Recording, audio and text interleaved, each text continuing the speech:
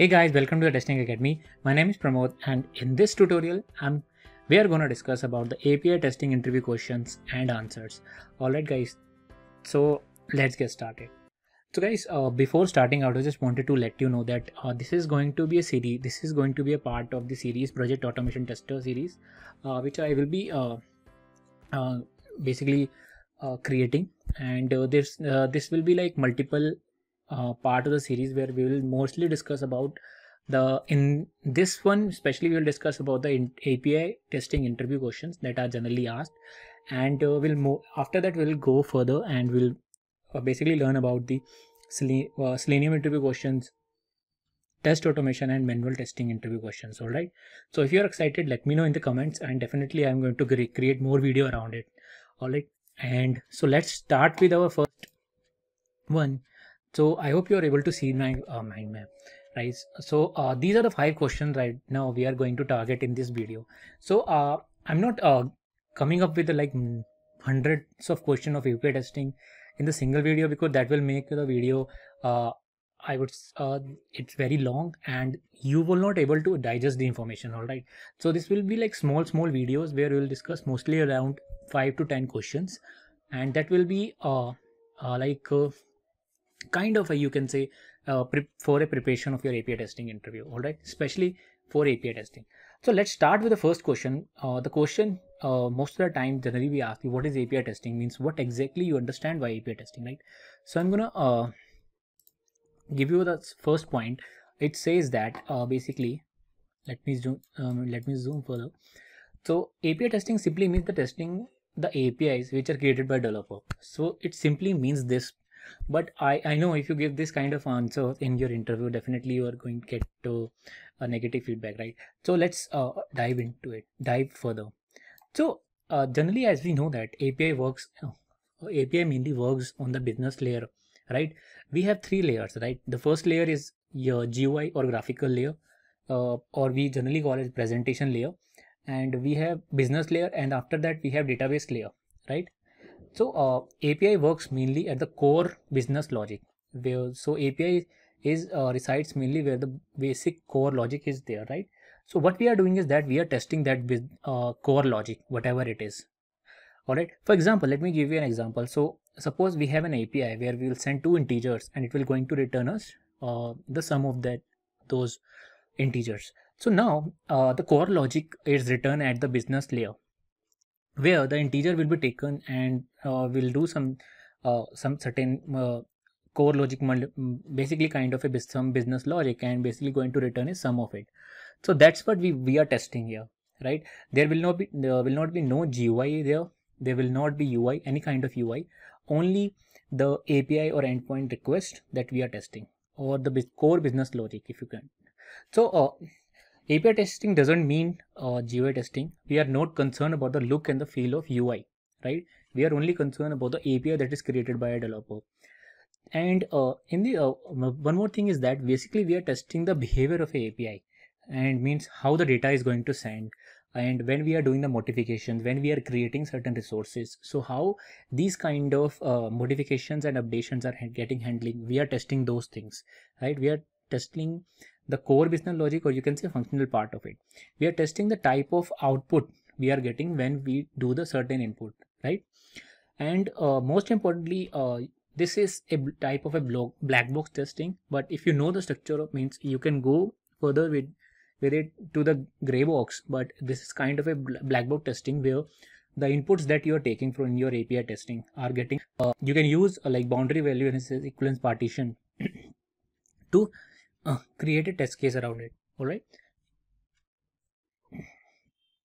so that's what we are doing here in the api right?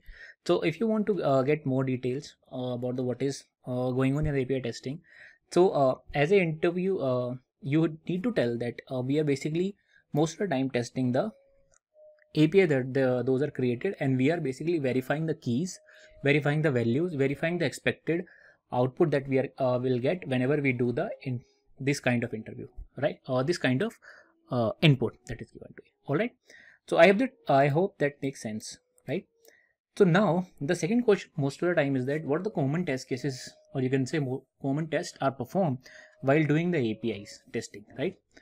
So uh, perform a uh, so uh, let's go go one by one. All right. Uh, let me undo this thing. Yeah.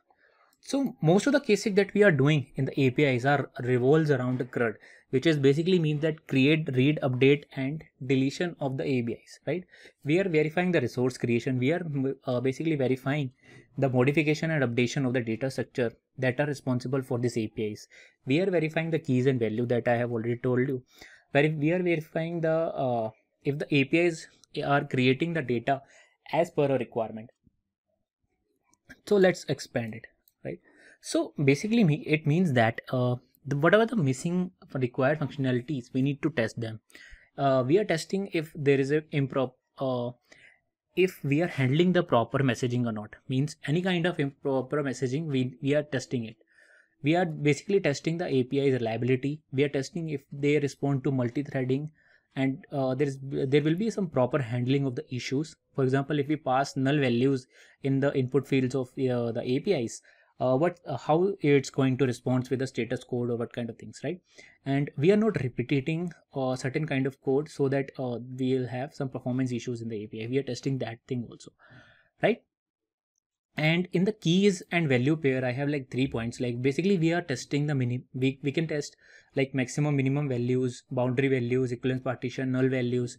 And we are also like uh, interested in validation of uh, this you validation of schemas that uh, these apis are created because schemas are important because uh, if uh, there is a change in the structure of an api then definitely uh, what will happen is that you, whenever they are in getting integrated with the with your GUI, it will create a problem, right? So we need to make sure that the validations of schemas are also present, right? And similarly, in the rest, we are basically uh, testing the HTTP response code and the headers, means what kind of headers they are getting. We are, and uh, uh, most of the things revolves around is whenever we doing we are doing the API testing.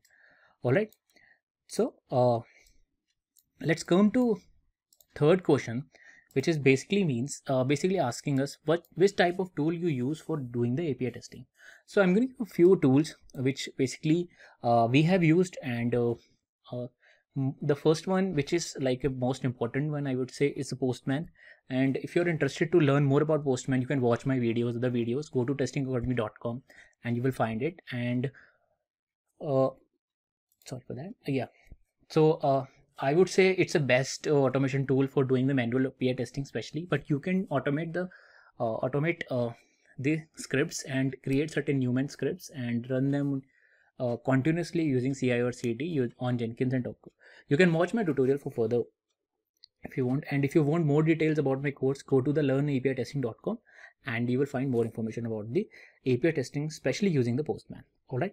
So uh, another tool is Rest Assured, which is like if, uh, one of the tools uh, to do API testing especially and it's again BDD style which is a behavior driven uh, development and uh, it, it is another great tool.